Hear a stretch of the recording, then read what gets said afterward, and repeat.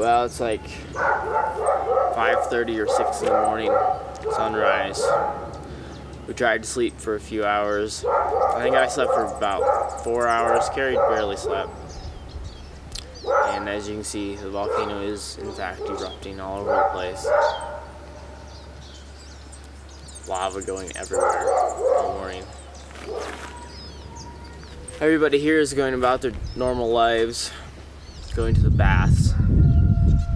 And we're like, uh, let's go.